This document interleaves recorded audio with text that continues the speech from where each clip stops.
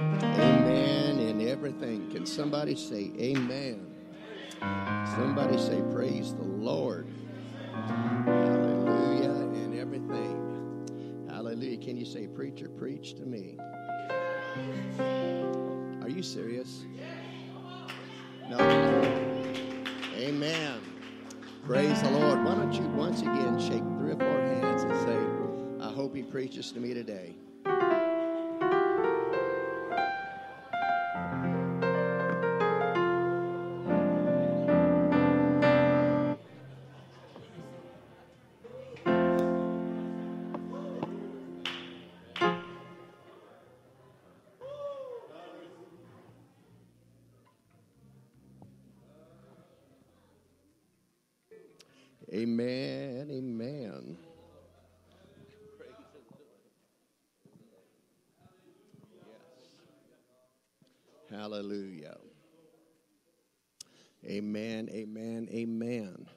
Praise the Lord. Thank you, Jesus. You may be seated. Amen. And uh, praise the Lord. do want to say thank you to all of those that did a good deed the other day and Thank you for your, your effort, your love offering of your time, and what you had done. Thank you, thank you, thank you. Amen.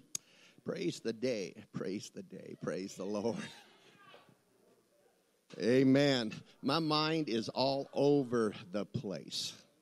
And, uh, you know, I believe today is going to, I'll put it this way it's going to be a teaching day today. And uh, hallelujah.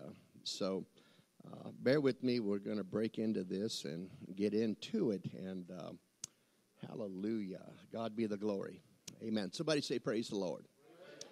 Praise the Lord. Praise the Lord. Some years ago, a few years ago, I had gone in and uh, had surgery. And when I had gone in surgery, amen, um, I was given this box right here. Amen. The individual knows who gave it. Okay. And um, I'm probably going to leave it on the platform, but it says, Every strike brings me closer to the next home run. Every strike brings me closer to the next home run. And that saying was done by Babe Ruth some years ago, and uh, uh, I had mentioned to the church before uh, because I didn't want there to be any understanding, but uh, I've had looks on people's faces when when I make different comments, and I think it's important that people know where you're coming from. But uh, people will come up from time to time. If you don't know, at least you'll know today. But uh, people will come up from time to time and say, "Hey, you know, Brother Mascroft, how you doing?" And I'll tell them, "I'm swinging." Amen. I'm swinging, and we are going somewhere. So just give me some time. And uh, whenever I say that, let me just kind of better say, give give you the truth, I'm not a swinger, back out of my generation that I came out of, because there were such things as swingers, okay, and they were dancers, is what they were.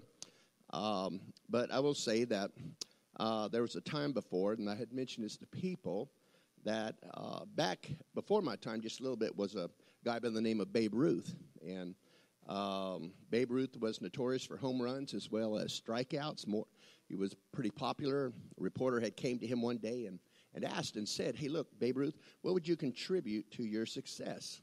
He said, You know, just keep on swinging. You'll hit something. Amen. So today I'm going to try to hit something. I'm going to try to hit something. Amen. Amen.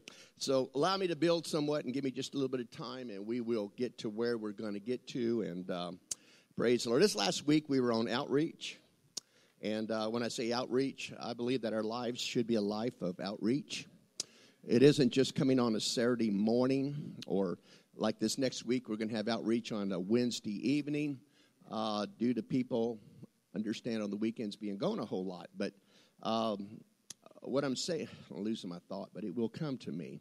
My mind this last week has been from here to there, and it's going to somewhere get in the middle. So bear with me, okay? Hallelujah. Amen. But this last week on outreach, you say, well, what's outreach? Well, we had a, on Tuesday, we had came together and we had a good time. Uh, we had a church picnic, and uh, I will say this is how I view it. Uh, some people view it as a picnic for themselves, but I view it as an outreach. And uh, myself, there are times that I will deny myself of going certain places. And the reason why I will deny it is because I feel that some things are important, more important, and I can always do what I want to do at another time. But uh, this Tuesday, we were uh, at the picnic, my wife and I, and began to carry a very interesting conversation. And uh, I had a question that had kind of hit me just right between the eyes. I honestly did not know how to answer it. And I believe the best thing when it comes to those things, just say, well, I don't know. It's something I'm going to have to think about. You know, people at times always thinks that, you know, an answer is demanded. You know, if you don't know, you just say, I don't know. Maybe I can get back with you later and we can just take it at a later date. But the question was thrown at me by this individual, uh, which I will say has been coming and visiting this church. And uh, I will say this keep praying for this family. You say, What family is it?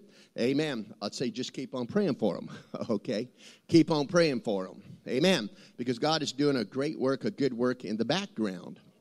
And um, uh, he asked me a question. We'd probably talked for about an hour and a half. And he asked me a question, and that question was, What would you consider? What would, what would you say, Reverend, in your ministry that has been the hardest thing for you? And he began to, to mention a couple of things. I'm not going to mention those things, but he had brought the comment along. And that comment was, Pastor, what is the hardest thing that you ever had to deal with in your ministry? I began to think, and I'll be honest with you, at that time I could not come up with an answer. Uh, I, I was blank. You ever been on the spot before where someone asks you a question, you're just blank? You don't know what to ask. And uh, I looked at my wife that was sitting next to me and I said, Hun, what's the hardest thing that I've ever had? I'm not talking about, I understand, dealing with in the ministry. And she was somewhat puzzled because, you know, when you look over 30 some years, or maybe 30 some years, I'd say 24 and 13, 36, 37 years in the ministry, uh, I'll say this you run across a lot of things. And uh, sometimes there are things that are tough, they're hard, maybe at that time. But my mind began to ponder, and the thought began to hit me um, as of yesterday. And that thought was the toughest thing as a pastor, and, and understand this, and please don't take me wrong, man. I will say right now, I just want to set, the, set it straight, but I'm talking to all of us today. I'm not talking about one or two. But I'm talking about everyone that's here today because I believe that we can definitely benefit from what I'm going to bring forth. But the hardest thing in the ministry that I have, as a pastor, have ever had to deal with is the self will of an individual. Understand, you can say, well, was adultery harder to deal with? No, it wasn't. I must be honest with you because there are people that actually can that do commit sin and uh, understand and by the grace and by the blood of jesus christ they are forgiven. Thank god for it because i'm glad that, that god is a god of grace and forgiveness. Uh, it's very important because people need a hope and they need a way uh, some refuge they can turn to and that is jesus christ. But that is not the hardest thing and, and i thought on that for a moment. I said you know it's easy to deal with somebody that can see their own sin. It's easy to deal with someone that uh, friend that know they've committed sin and know that they're wrong before God. And you talk about a repentant person that comes across. Friend, that's not the hardest thing to deal with because they've already come to a place within their lives that they understand, you know, I, have done wrong before God and how important that is. But in the time that I have been within ministry and began to, to ponder, begin to think about some things, and that thought had came to me as a pastor, the hardest thing I've ever had to put up with or had to deal with, amen, is the self will of an individual. Amen. I do want to make a statement, and if I could label it today or title it today, I would put it this way Your self will, understand, is going to reveal the level of your submission. Understand. And I want that to sink in. And I'll say this I'm not looking for a shouting and running service. I believe there's times and there's places for all of this. But I believe that when it comes to a church, that a church will not mature, a church will not grow, friend, unless there are teachings that are brought, brought across that need to be for that assembly and that congregation. Amen. Many times evangelists are, are concerned about, well, let's get up and get the hype and let's get the jumping and get the shouting. I will say to you today, friend, if there's anything that's ever helped me in my walk with God, and that's when a good old fashioned preacher got behind the platform, he began to put the nails in the coffin and tell it just like it was because there were things in my life that needed to die, friend, and I needed to get rid of. And friend, please don't take me wrong because we love shouting, we love worshiping, we, we love the things of God, but we better just be honest about some things, friend. Uh, if we're going to make it through those doors one day, there's some things that have got to happen within our lives. And if we think that we're going to go through those doors, friend, not dealing with certain things in our life, you are fooled. Understand, you are fooled within yourself. I need the preaching of the word, friend, to help get me through the doors of heaven one day. Amen. And so my mind began to ponder, and uh, and I hate it when it begins to ponder because then I'm between here, I'm between there, and everywhere else. And uh, so we're going to make the best of what we got today and go from there. But I want to leave you that thought one more time. Your self will is going to reveal the level of your submission. Of your submission. Amen. Amen. We can take different passages within the Word of God, and uh, we can somewhere begin to digest them. And uh, one one passage I want to bring you to, and we can get into Scripture, but let me just somewhere go the route that I feel like going. But there was a time back in the Old Testament, and it was in the time of Moses. Moses had called, God had called Moses to become the one that was going to help lead the children of Israel, friend, out of Egypt and yet bring them into another land, which was Canaan. When we begin to look at Moses, he had struggles within his life. Uh, we understand that uh, as the first 40 years he lived in the palace, friend, of of uh, Pharaoh himself. And I will say this I believe that somewhere back in history, from what I've researched, that uh, understand there were different pharaohs that were in there. Um, and when it came to the time that, but right before, uh, let me put this way, after Moses had been born for about two years, uh, give or take somewhere maybe a little bit less than that, but it had to have been less than that because he was an infant, a babe. But uh, in that time, we realized that Pharaoh himself had made a decree, and that was to go about and to kill all the babies from two years old and under. Well, when we look at this passage and we look a little bit later on and the, uh, that Moses himself was in the house of Pharaoh, he grew up. Moses was not an ignorant individual. Uh, he was one that came up underneath the best education there ever was. But there was something later that happened within the life of Moses. And he chose not to go the way of Egypt.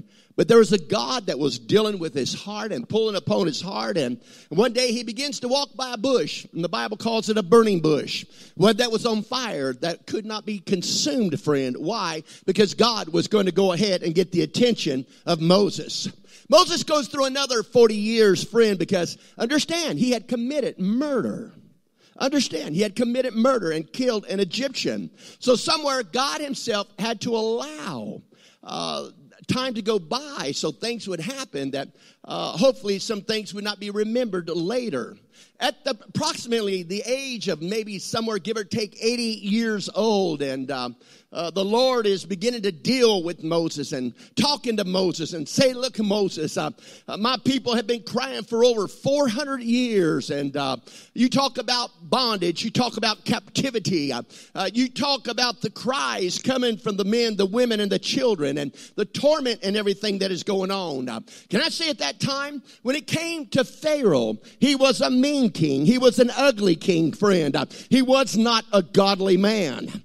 Did you hear what I said? He was not a godly man. And we realize that in that time that uh, of, of Moses, that things are beginning to build and escalate, and, and God begins to bring along the pestilences that begin to happen.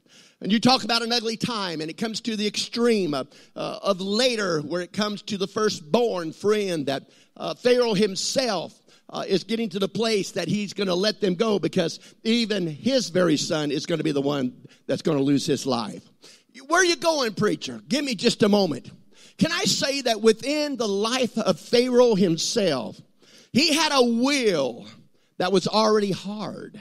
He had a will that was strong. And you may say today, is there anything wrong with a strong willed person?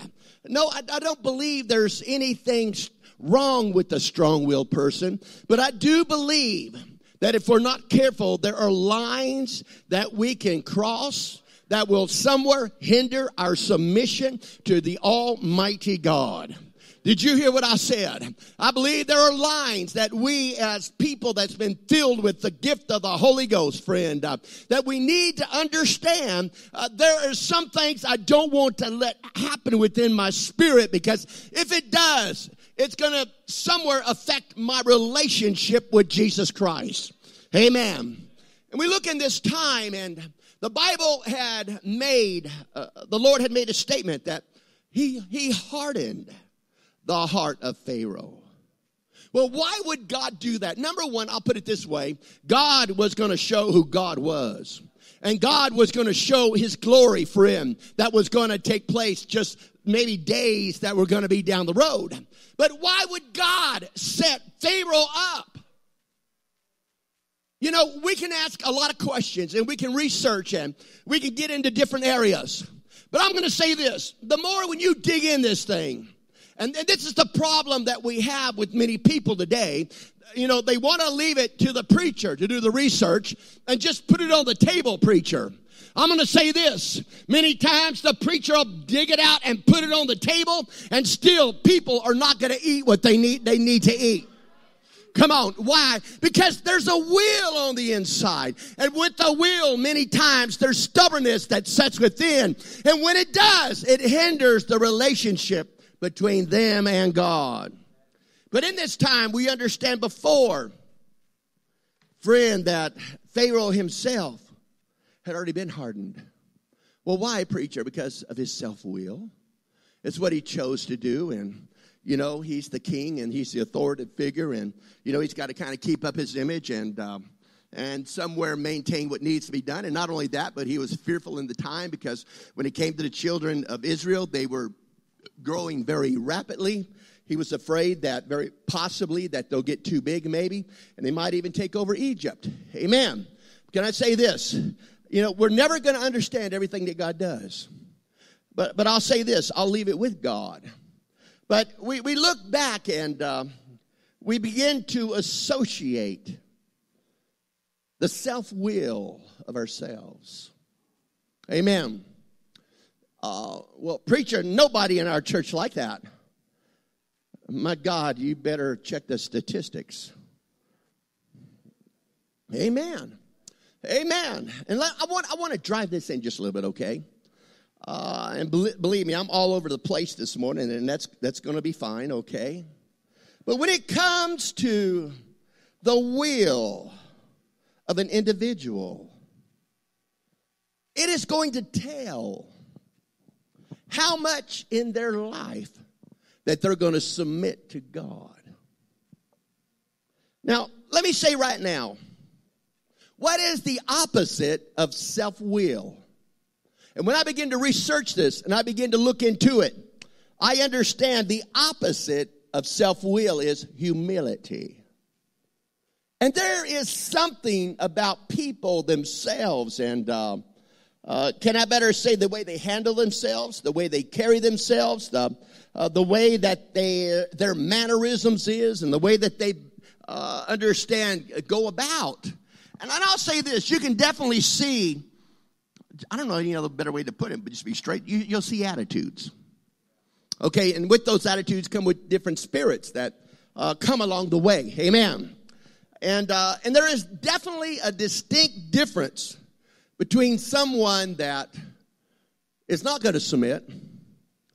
Understand when I talk about submission, let's get that straight and let's understand number one because and it's just a teaching class today. That that's good. When I come to church, I am submitting to the Almighty God. Come on, let, us get that straight. I believe that many times people have got a, a false interpretation of submission. Because, friend, this whole thing is built upon God, Jesus Christ Himself, being understand our foundation, which is the author and the finisher of our faith. Amen. So I understand as a pastor, I want to be in complete submission to what God is asking me to do. Because how can I lead somebody, understand, if I first can't submit to the authority? Praise the Lord. And uh, when there's authority that is within our life, uh, understand it's going to show the level of your submission. Praise the Lord. Now, there are people in our day and time that uh, I will say they're not going to submit to authority. And, uh, you know, somewhere you're going to have to deal with a few things because, you know, it's one thing to deal with God, but it's another thing to deal with police. Uh, what do you mean, preacher? Well, I'll say this. If you say you're not going to submit to something, I want to say you're a liar. Because, friend, you're going to be brought under force some way or another. I thank God that God is a gentleman, but I'll say to you, you go out there and rob a bank and you let the police catch up with you. I'll tell you what, they're gonna chase you down. They're gonna hunt you, friend, just like dogs, friend. They get a hold of something, they're not gonna let go of this thing. And sooner or later, friend, you're gonna be, your will is gonna be brought underneath another authority. Now, when we come to Jesus Christ, I will say to you today, friend, I'd rather come to Christ in humility. I'd rather come to Christ in brokenness. I don't want to come before Christ with an arrogant and a nasty or a self-willed attitude that God, I know everything and God, it's you that needs me. Do you hear what I'm saying today? If there's anybody that needs God, it's me that needs God. Let me get it straight. It's me that needs God. Amen. And, uh, when we come to the level of submission, can I say, number one, it is a beautiful thing because it tells a lot about that individual. I'm so glad you're listening today. I really am. And you know, before too long, I'm going to take a few strikes. Oh, it's quieter. Amen. You know, some things are just needful, okay? But we're laying some groundwork, okay? We're laying some groundwork. You know, I want to put it this way I have no regrets within my life living for God. I haven't missed out on anything. Uh, understand. And I believe that a lot of things that, that people get misconceptions and uh, if we're not careful, they begin to let pride and arrogance within their spirit begin to happen. And uh, I'll say this they're different people. Amen. Have you ever noticed a person that is very self will? It's all about themselves. Have you ever noticed an attitude that comes along and many times it's stubbornness? None of y'all never seen a stubborn person, have you? You have been so blessed in a special way. Uh, let me say right now have you ever seen someone that is arrogant, also, I mean, stubborn, being also arrogant? You normally, sooner or later, it's going to lead up to that, okay? And, and understand, this affects our level of submission. Amen.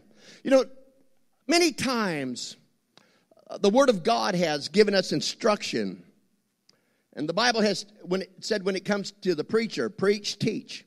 Be instant in season as well as out of season. Amen. And I want to use a few areas today, if, if you don't mind. And uh, I'll, I will say that, you know, I thank God for good old fashioned preachers. I said, thank God for good old fashioned preachers. Amen. Now, I'm not old, but I'm getting there. But I look at the ones that have come and gone before us, and maybe I can just use some analogies. To, like I said, I'm all over the place. Maybe I can use some analogies uh, to show you where I'm coming from. Amen. You know, submission is something that I believe this. If you don't have a certain level of submission in your life to God and, and to what the Bible has told us, I'll just be blunt with you. You're not going to make it in. Come on. Can I just put it this way? You can't make it to heaven on your own terms. You cannot make it to heaven, friend, by being a good person. Come on. Somewhere you're going to have to get stout within your spirit. Uh, there are things you're going to have to stand up to your family, to situations. And I'll say this, friend, it's going to determine what you become within God. So I just want to get it straight. Living for God ain't going to be easy. But I'd rather be straight and be upfront with your friend. Living for God's going to be the best life you ever had because there's going to be a lot of good benefits that's going to come along. I don't care what the world says. I don't care what they tease you about. I just want to get it straight. They haven't learned some things themselves when it comes to God. And don't judge something until you've been involved in it, okay? I remember some years ago when I first came to the church here. And um, there are times that as uh, uh, come, I, I, was here for about, I'm gonna, I believe about six weeks, and I was sitting underneath Brother Barkley, and uh, God bless y'all. I'll tell you this: that we're underneath the ministry of Brother Barkley. And Brother Barkley had his own way, just like any other preacher has their own ways when it comes uh, to going about doing some things. And thank God that we're not clones. Thank God that we can be our own mans. But I'll say this: sometimes I wish I had the guts that Brother Barkley had. I'll be frank with you. Did you hear what I said? I said, sometimes I wish I had the nerve. And you know, I'm still praying for some things, but God, in that nerve, would you give me some tact and would you give me some wisdom? Because my God, I, I seen that man pull things off I've never seen before.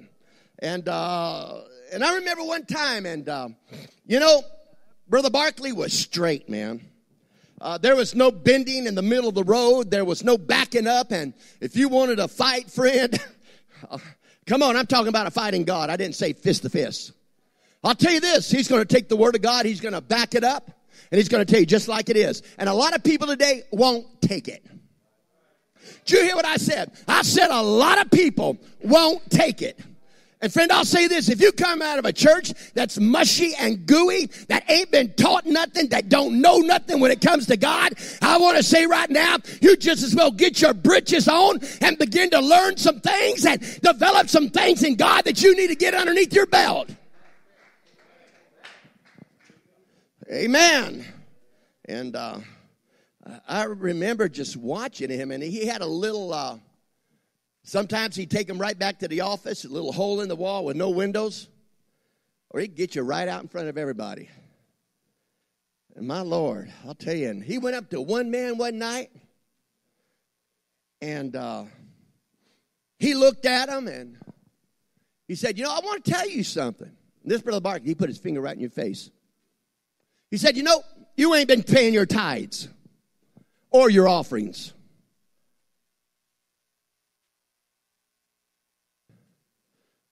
That's pretty bold. Remember Brother Loopy?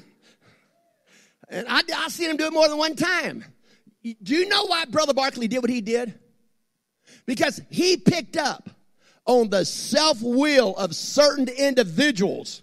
And Brother Barkley knew that he had to deal with certain men and certain women certain ways, friend, because somewhere he knew that self will needed to be broken within their spirit. Is it Brother Barkley's job to break it? No, friend. But it's his word to hold up the authority of the word of God. It's his word to teach and to preach what needs to be done. And as the pastor of a church, he was doing what he felt needed to be done. So he would go up to that individual. And he said, You know, you, I mean, he wasn't arrogant, but he said, You know, you haven't been paying your tithes and offerings, have you? And if they would have said yes, he would have came back across and said, You're a liar. Well, that's not too kosher, pastor. No, the problem is, is today people in the church want everything patty caked. People want everything nice and smooth. And, and pastor, don't you offend me because if you do, I'll just go down the road and go somewhere else. I, will say this, friend, if that offends you and bothers you, uh, you were probably already headed down the road and going to some other place. Uh, but I'll say this, uh, your self will is going to reveal the level of your submission. I hope you catch on to what I'm saying. Because our will has got to become His will. And when Jesus was here by supreme example, he prayed up to, to, to, the Father and said, Not my will, but thy will be done. And when I can get rotten, stinking will out of the way, I'm telling you right now, friend, we can submit to what God has got. Amen. And, uh, you know, people Give me time. I'm building. You know, people play games with the preacher. So, you know, to make it look good, that guy pulled his wallet. Understand the offering been taken, friend, already. This was after church. Pulled his wallet out and said, You know, Brother Barkley, I got a check here. I meant to put it in. You liar. You were planning. You were contemplating probably what was going to happen because maybe you were dealt that way before. I just forgot to put it in. Well, would you like to give it to me right now?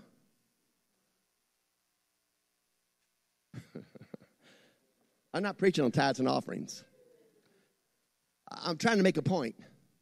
You see, as a pastor, the hardest thing that I've ever had to deal with or Brother Barkley or any other pastor throughout the ranks of the apostolic Pentecostal movement, friend, understand is the self will of an individual. Are they or are they not going to submit, understand, to Christ?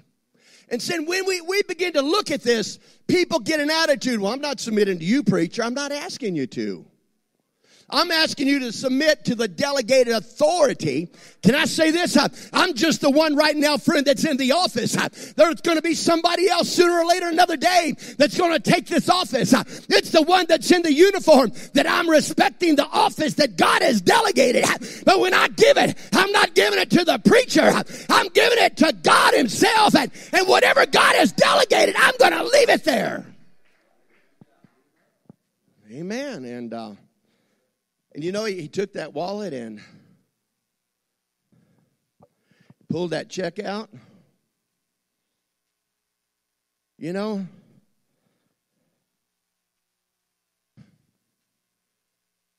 he was guilty. You know, I'll be honest with you when it comes to God. It's better just to be honest.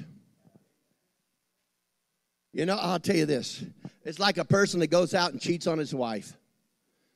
You know, I could deal with somebody that's sorry for doing it and it's not going to do it again. But how do you deal with somebody that's not sorry?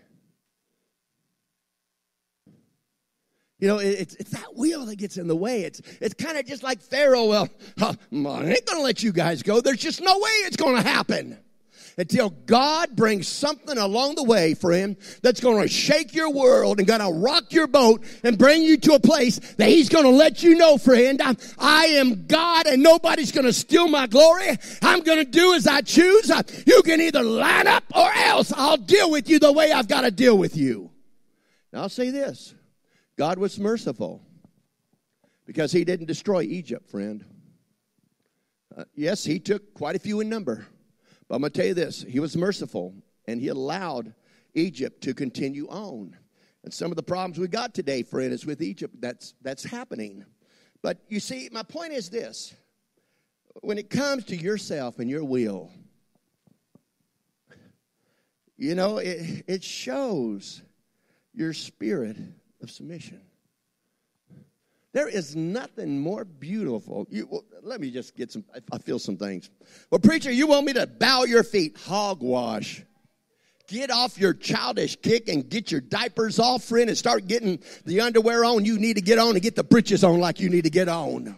Come on, well, oh man, you're just a little bit arrogant. I'm not arrogant. You got to understand as a pastor what I've gone through. And I'm telling you, friend, I, the toughest thing I'll ever deal with is going to be your attitude and your spirit.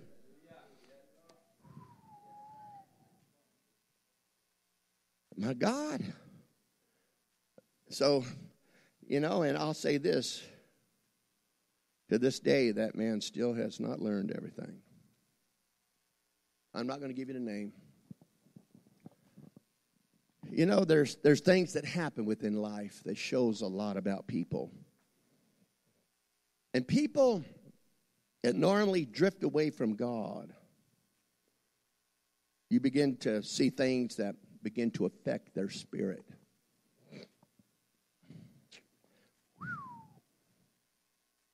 Can I say this? And I'm just preaching today, and like I said, I'm all over the place. There are those of you that you have been affected and you're infected.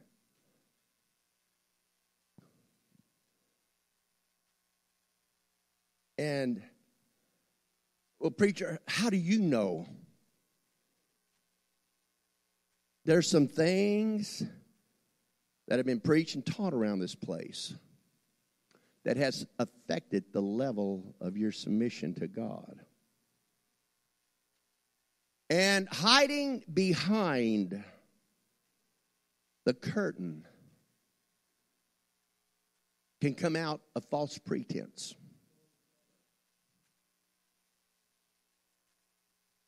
Are you understanding what I'm saying? Amen. You know, as pastors, and um, I will say this I've been accused of everything when it comes to being a pastor. And I, am not looking for no poor me attitude or anything like that, okay? But I'm just talking to you because, you know, this is a people's business. If you're new today and it's the first time you've been here, thank you for coming and uh, praise the Lord. I will say this just hang on for the ride, okay? Just hang on for the ride. But you're not going to go to a lot of places that they're going to tell it straight and just put it just the way it's supposed to be. You can go right down the road, and I'll tell you this all they're going to preach on is love, but love don't develop people what needs to be made complete within their life. Come on. I'll say this the, the cross makes a big difference, friend. The blood of Jesus makes a big difference. But I'm going to tell you this we got to come to a place and understand that sin is sin and we deal with sin and sin needs to be taken care of. Amen. You go before a judge. I want you to understand, friend. Uh, yes, he'll listen to your story and you can give him all the pitiful story you want to give him. But somewhere, friend, he's going to have to judge the situation. And what is he going to do? He's going to go by the facts and what you did, what happened, friend, and, and understand the way that you understand, conducted yourself in such a time. Now, we ourselves, when it comes to living for God, I will say this our mannerisms, our will, conducts what is happening within our life as well as our level of submission to God. Amen. And I'm beginning, I'm, I'm thinking of some situations, and I, I, can I just be blunt and be honest with you today? Um, and uh, there are some people that, as a pastor, that you will take the hammer and try to drive things home, and all you can do is preach the word and do it. And, and you know what? The choice is going to be up to those people. Amen. Do you love them? You still love them. You still care for them. You still pray for them. But you know, you just you you really truly want to see them make some changes and and get back to God where they need to get back to. And uh, Amen. But it, it's like you know, you preach faithfulness. Does anybody know what faithfulness means? Being faithful to the house of God. And I know at times there's certain reasons and excuses. Amen. Um, boy, I'll tell you this I believe heaven's going to have the biggest book of excuses we've ever seen. I mean, there's, there, I'm sure there's some of them I haven't even heard yet. And I hope I never do hear them. But, you know, people, they need to get a concept of being faithful to God. In the times that or when the time comes that I need God the most. I hope when I call on that name of Jesus Christ that I have been faithful to Him. I will use an illustration. I will say this I am not perfect.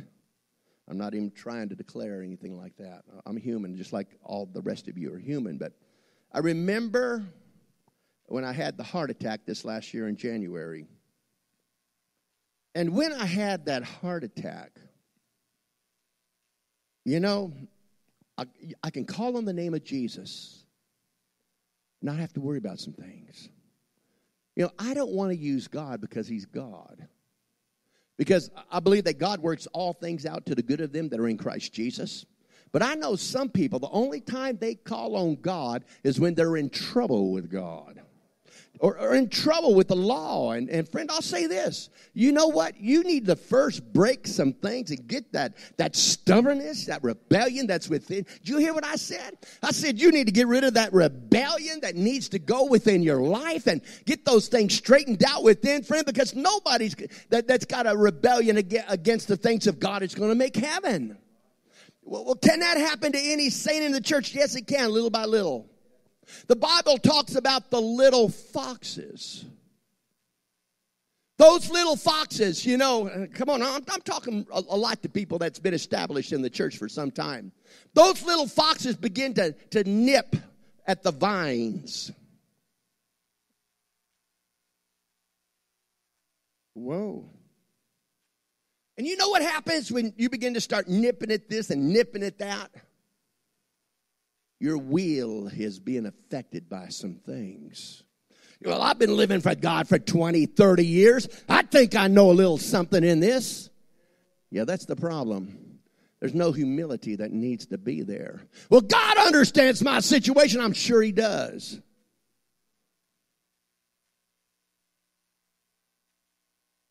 It's good old preaching today. You know, it's good old preaching. You did ask me to preach to you. I said, You did ask me. Okay. And come on, you know, I'm here to do the best I can to get as many to go to heaven that, that, that can get to heaven, friend. But you know what's making the biggest difference is what's in between and, and how you're being affected and what's going on in your life. And is it a struggle for me? Yes, it's a struggle for me because I hate to see you the way you are and the way that you're coming across. And, and I know you're wrong. And if I told you you're wrong, you get offended at me. Now, me, Pastor, whenever you see something happen in my life, when I want you to come straight up to you, you're a liar. Until that situation comes along and, and I put it in your face and I've seen it kick me right back in my in my face, friend. Preacher, let me know when some no, you won't take it. Not till I see you can get down to an altar and you can begin to start talking to God and let God do some things in your life. Sometimes you have to do it anyway and get kicked anyway. You see, our self will has a way of justifying.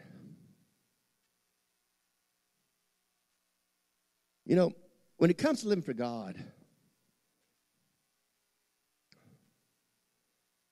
and um, maybe maybe I can. Uh, I'm, I'm going to use this. Praise the Lord. Where's Mina at? Is that all right? Okay. I, I called her in the office this morning. And um, I said, Mina. And I was putting her in the place of a, of a pastor because I wanted some advice. And uh, I said, Mina, am I doing all right? Well, yeah, you're you're living by example. You're leading, and uh, I said, Mina, you don't live with me 24 hours a day. How do you know? And I didn't plan on doing this. It's just the way it's happening, okay? And I'm not here to embarrass her. We love her, appreciate her. Um, and, um, and, and I, I said, you know, uh, you know, what, well, what can I do to do better? He goes, well, I don't know. You're doing everything I think you, you need to do. You know, can the preacher look you back in the face and say the same thing?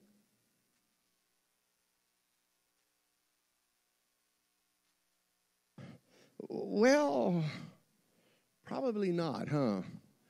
I've had people come up to me and say, Well, preacher, how am I doing? Don't ask.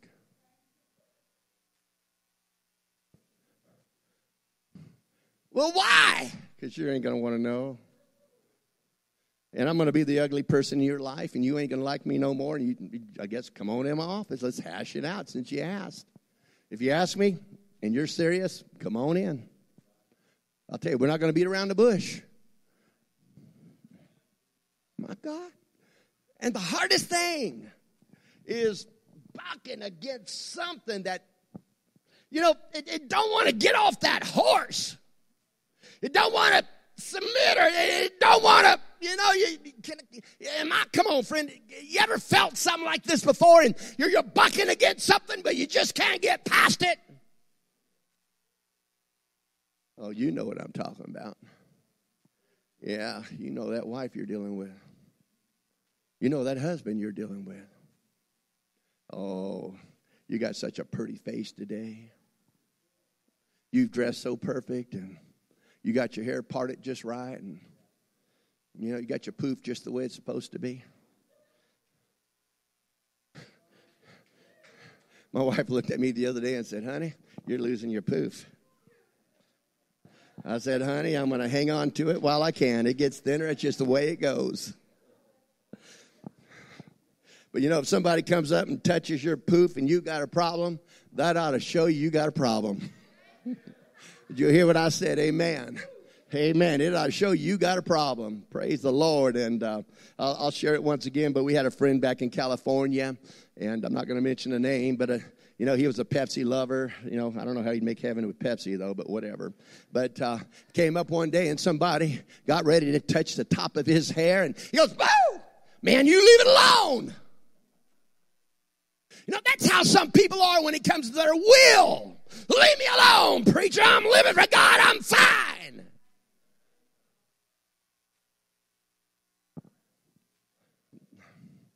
Well, I got some of you looking. Amen. I just well be frank. I ain't gonna play games with you. Brother Barkley, well, you most of you weren't here, but he warned you and said, "Hey, look, this preacher ain't gonna be any different." He got that right. But you know, it, it's just, uh, you know, can I preach about you? God bless him, he's doing better. This ain't to hurt you, to offend you, but it's to help me to get something across. You see, for years, and at times, Brother West has got Sunday morningitis.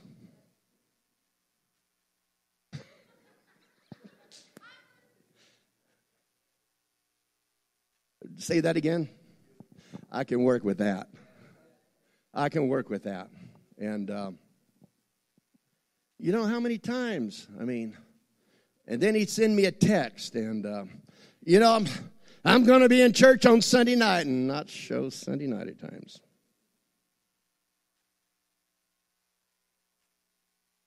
Now, I, I know Wes, and I know he wants to do right, and, and there's a difference between Wes and some other people. I'm not saying Wes is perfect.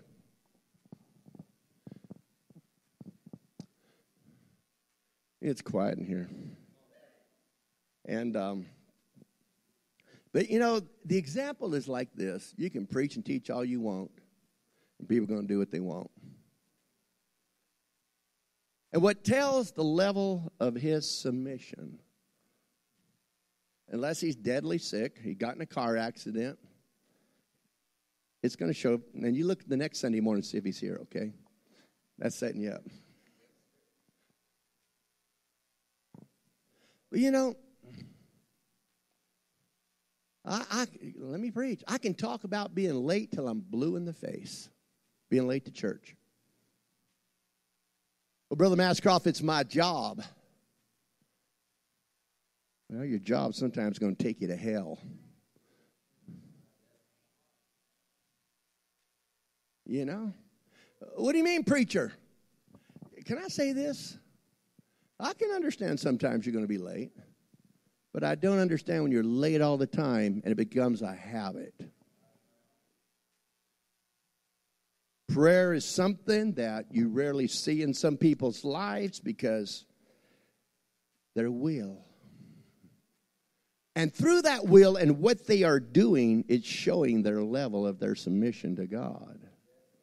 You can justify it, you can try to qualify what you're doing. But I'm asking you another question what's more important to you? Your will is saying what's more important, whether it's your job or whether God is more important. Amen. Just teaching today. Just teaching. You know, um, this is Brother Mascroft, and um, why am I dealing with this? Because I've been having to have to deal with some things. And if I ever send you a text because you won't answer my phone and tell you I have concerns about you, I really do have concerns about you. Okay? And if I ask and say, I want to get in a meeting with you and you avoid me, I know there's a problem. Okay? Amen. Can I say this? A pastor, all he can do is preach and teach. He can pray for them. He'll love them the best he can, but he can't be friends with them. Because when you become friends, friend, I'll tell you this, you become so common. And when you become common, they think they can pull and do just what I told you I was going to take a few strikes today, okay? Amen. Well, why does this happen, Pastor? It's the self will of that individual. I said it's a self will. I'm not getting a lot of shouting today, man. Maybe I'm maybe I'll just reverse this preaching, okay? I think I've already killed it, but that's good. You know? Amen. You know, it amazes me. We can go to a conference and they'll preach this and we're shouting all over the place. But I'll tell you what, you let me as a pastor step behind that platform. And when it comes to our church, I'll bet you there's not going to be some people preaching. I mean, that's going to be running shouting. Because I'm going to look them in the face and say, Look, you hypocrite, you.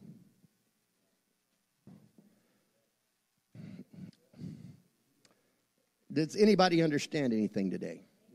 Well, Pastor, I thought you loved us. Loving you and being honest with you is two different things. Okay? And uh, I will say this there's been those that, and there's a lot I can say on this subject but you know, Jonah had something about himself, about his, his will and level understand of submission to God. Now, understand, Jonah got Jonah had to get into alignment somewhere along the way, friend. Or God can make your life so miserable. Did you hear what I said? Wouldn't it be a whole lot better to be like Abraham, friend? And to offer the sacrifice of Isaac, friend, in compliance with what God has asked. Well, God, you're asking too much. No, He ain't. You're demanding too much. Not that He can't do it, but why should God do something when you, number one, don't believe He'll do it? Amen. Good preaching, preacher. When it came to Naaman, friend, and it came to the Jordan River, I must say to you today, he had to struggle with his self will because he didn't want to go down in those dirty waters, friend, that he was going to go down in. Come on. He didn't want to get into Jordan and somewhere have to get down where those snakes and everything else was. And what makes a difference, friend, is when our will will submit to the will of God. When our will will become God's will, friend, and, and understand, we understand that God's will is in our life. Let me ask you this. How do you think Peter felt? When the Lord came up to him and said, Hey, Peter, why don't you take your nets and throw them on the other side? He's out there, the sun's hot, it's blistering. Been fishing all day long, got the nets on one side of the boat, and, and he's, he's, he's the Lord comes up and says, Peter, throw your nets on the other side. You know, Lord, I've been fishing for some years. Who do you think you are? You know, sometimes God says things to try our spirit. Did you hear what I said? Sometimes God wants to know, are you going to be obedient and do what I've asked you to do, or what are you going to do? Hmm. How many times, have, like today, have you thought, preacher, you're crazy? And the preacher says, throw it, throw your nets on the other side of the boat. Get off your kick, Pastor. Peter's about ready to lose it. And he's already baking his bacon out in the sun. Take the nets and throw them over on the other side. I don't know who he thinks he is. And he takes the nets, he throws them on the other side, and the boat begins to start to sink because the catch is so great. You see, we don't understand why God, how He works and why He does what He does. We think, man, I've got it all figured out and God understands. I know what God's going to do. You don't know because you're not obedient and because you don't listen to what is being preached. Come on, I'm not trying to be offensive. I'm just being honest with you. I want to make heaven, but I want to, I'm going to have to make it the right way because friend, I got to get in the right door. Amen. How could Christ ask you to do something if he first didn't face it? When Christ himself was asked to face Calvary and to die for your sins, not his sins. Could you do the same for somebody else? Could you do the same for Jesus Christ? You see, when it comes down to it, by your actions and your will, a lot of things are revealed by your personal ambitions that are contrary to the purposes of God. If you're getting upset today, I want you to understand that what's being revealed is your own personal ambitions. And they're somewhat contrary to what's being taught or the purpose of God. Well, Pastor, I don't know the purpose of being here on a Thursday night for your salvation.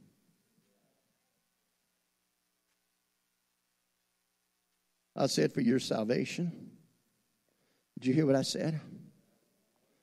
Uh, well, preacher, I, I, think going to church on a Thursday night, an extra service a week, I think it's a lot too much. That's the problem. It's contrary to your ambitions.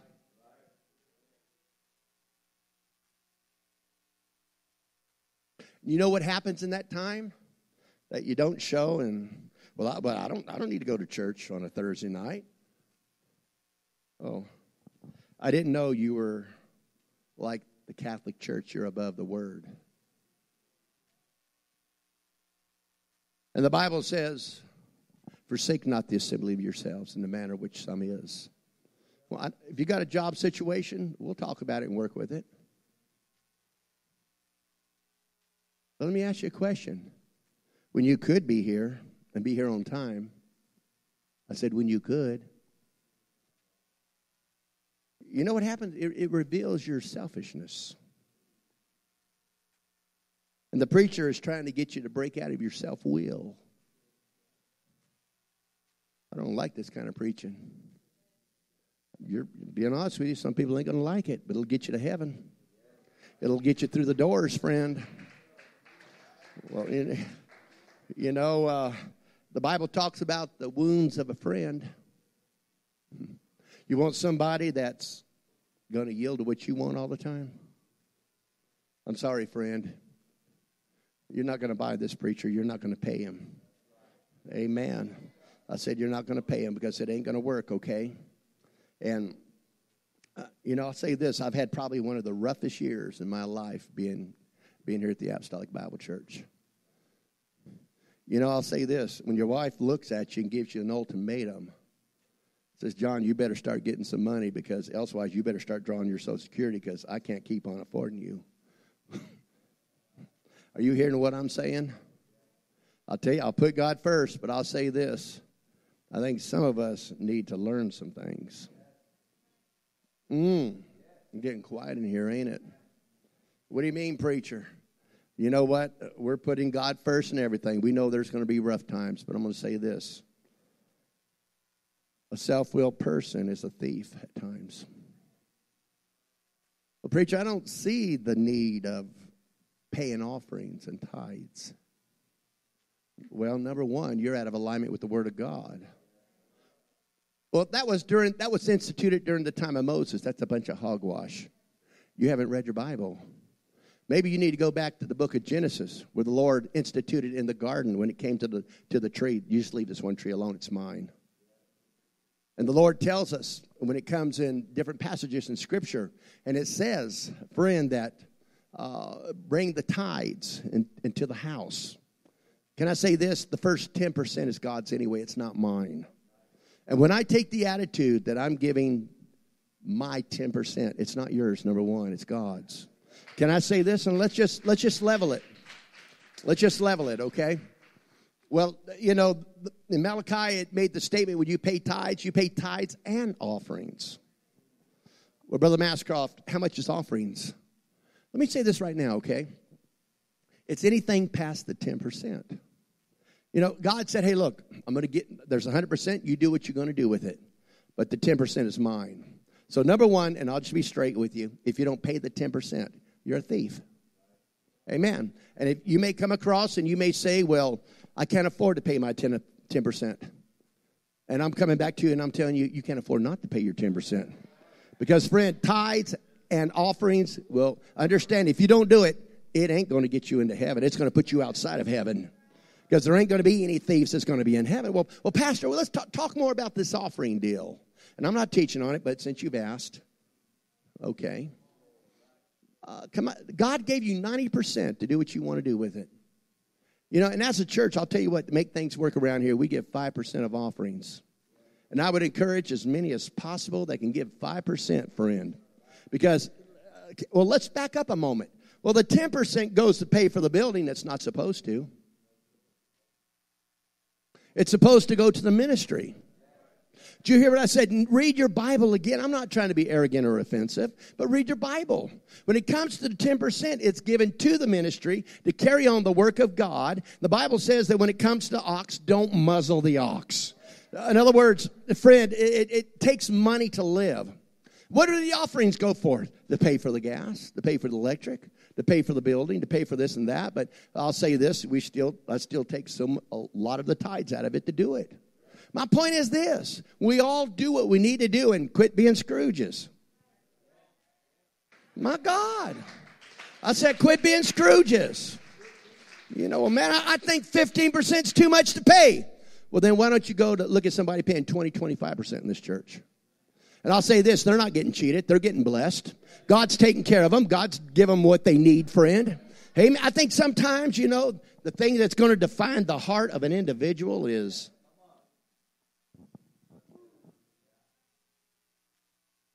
I dare to say that probably 80% of you today got more money than what I got in my wallet. Most of the time, I don't got a dollar in my wallet. I probably got three or four or five bucks. My wife got the other eight the other day.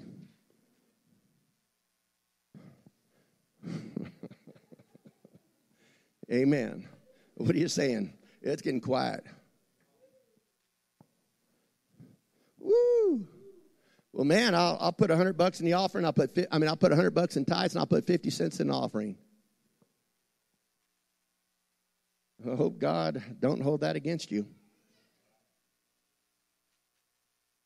Ooh, it's quiet. I think we better stand before, before I get somebody upset.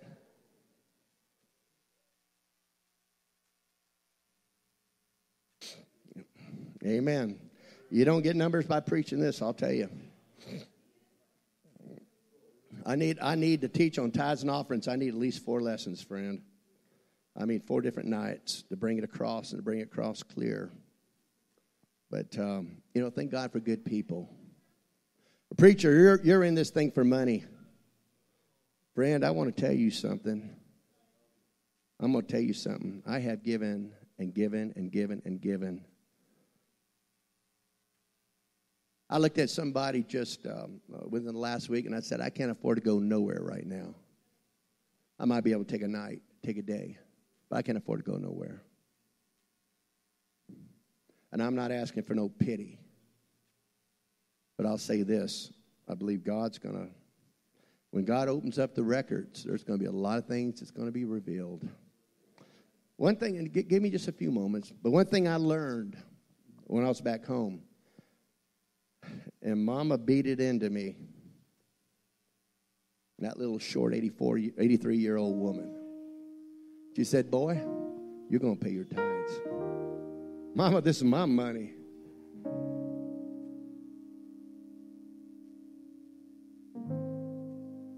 Friend, I wanted to get a McDonald's job when I was young and they wouldn't hire me.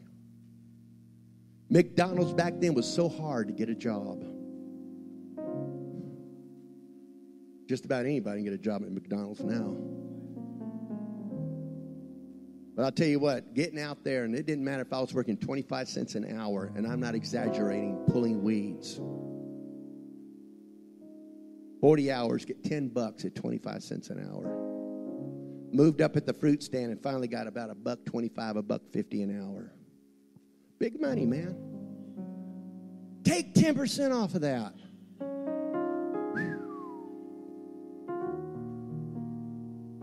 That's a lot of money. No, it's where your heart's at.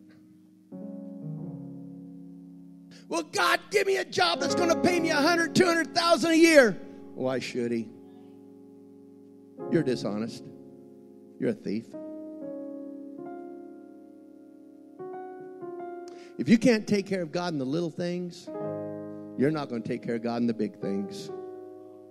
And if you haven't learned some principles yet, it's about time you learn some if you're going to submit your will to God's authority.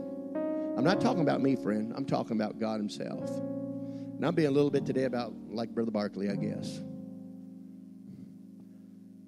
Can I be blunt with you?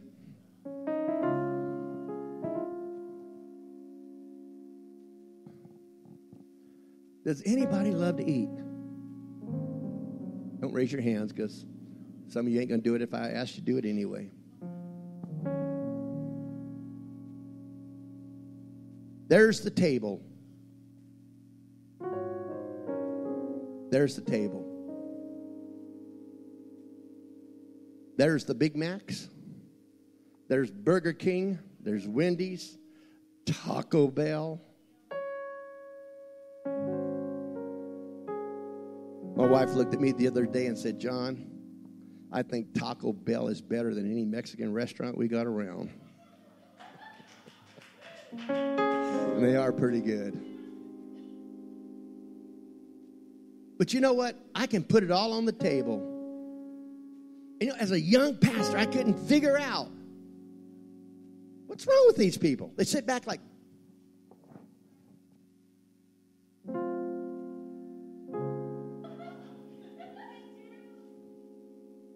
yourself.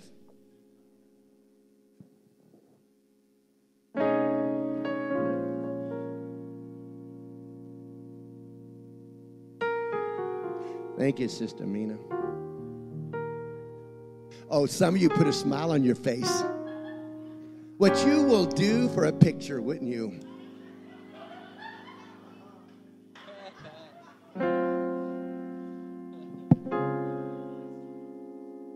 Some people are so focused on themselves. You get me?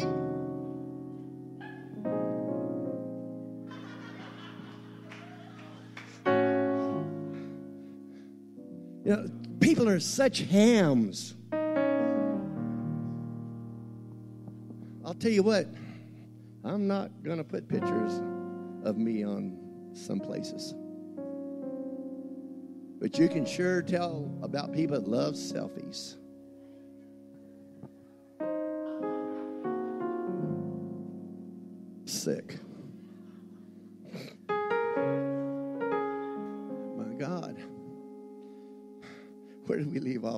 Wes? You just happy I got off your kick. Amen. Still love you, man. Still love you. Honey, where did I leave off? Taco Bell. And what happens is that you put it on the table.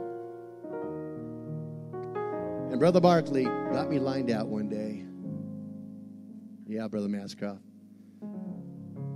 I know what the problem is. Brother Barkley, what you holding back, tell? He goes, they're just not eating. You know, it, it, it's like, I'm glad you brought it up, but I can be up here preaching and I can make an altar call and it's like,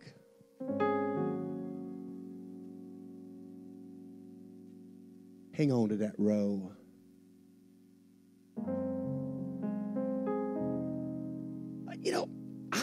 No sin in my life. I, you know, I'm doing pretty good living for God.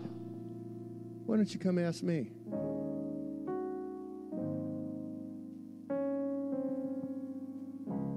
I don't understand sometimes when we have altar calls. People are so focused on their own situation. They can't even go down and pray for some poor lost individual.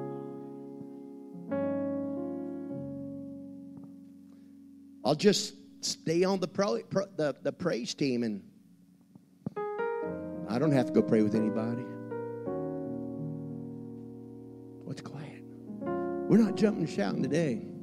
Maybe we need to get evangelists in here, get Brother Latif here. I'll tell you what, you let him preach what I preach, you probably wouldn't like it. He's not pastoring. And I'll tell you something, I believe he wishes he was pastoring. Because you get on boot camp on the evangelistic field. I know he'd rather be pa- pastoring right now. What do you mean, preacher? Oh, I'm, I'm, I'm taking my time. I don't get to do this too often. Not that I love it. I, I praise, but you know, sometimes things are needed. It's your pastor, and I'm going to bring you back to where I started. Pastor, what is the hardest thing in your ministry that you ever had to deal with?